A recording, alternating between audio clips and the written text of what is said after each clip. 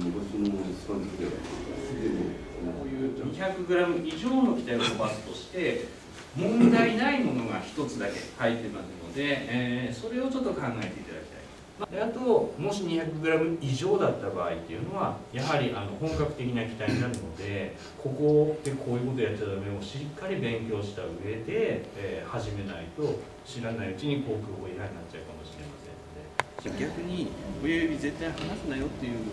訓練をするんですけど初めての時はむしろそれや力加減分かんなくて即壁にみたいなことになるかもしれないので